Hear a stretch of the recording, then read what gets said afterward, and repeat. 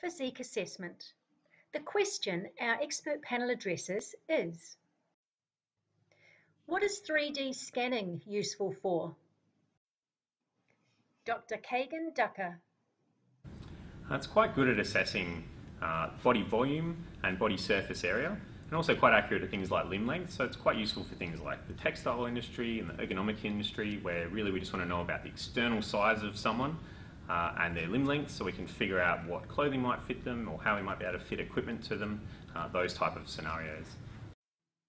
Associate Professor Gary Slater. So three-dimensional scanning is a technique that is primarily used uh, to be able to assess body surface area and body volume. Um, there's currently interest in being able to explore whether or not it could track body composition over time. Professor Tim Ackland. So 3D scanning is used for measuring the typical anthropometric uh, length and breadth measures, but it can also be used for uh, estimating cross-sectional areas and volumes. And when combined with DEXA, it can be used for measuring body segment parameters, segment mass, centre of mass and moment of inertia for 3D kinetic analyses. Associate Professor Masaharu Kagawa.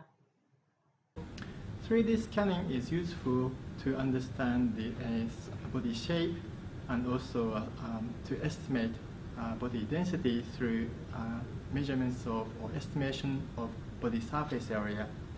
Uh, it is recent, a very new technique and maybe have a, a more possibility or potential that can be utilized in body composition research.